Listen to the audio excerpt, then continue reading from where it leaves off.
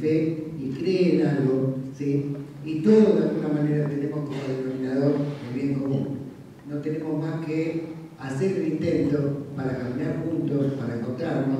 y para tratar de que lo más importante, como decía Yereli, y como dicen muchos de los que lo conocieron, muchos dicen, el obispo nos enseñó a ser personas, los más humildes, ¿no? Nos enseñó a ser personas, porque el centro de el, centro de nuestro planeta tiene que ser los seres humanos,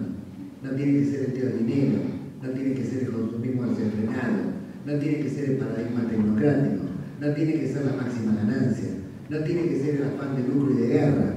tiene que ser el ser humano. Si todos nos empezamos a encontrar y este diálogo interreligioso que es práctico, que se está generando a nivel mundial, logra generar esta sinergia, esta hermosa sinergia que se está generando en el mundo, bueno, vamos a poder hermanar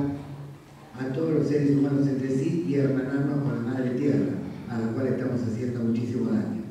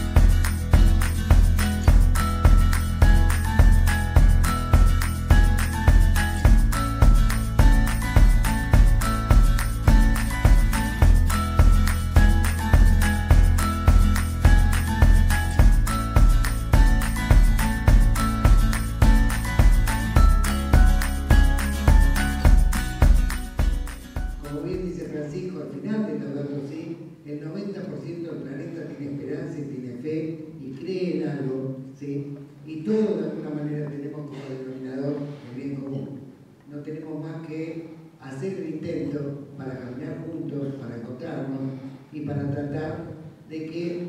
lo más importante, como decía y como dicen muchos de los que lo conocieron, muchos dicen, el obispo nos enseñó a ser personas, los más humildes, ¿no? Nos enseñó a ser personas,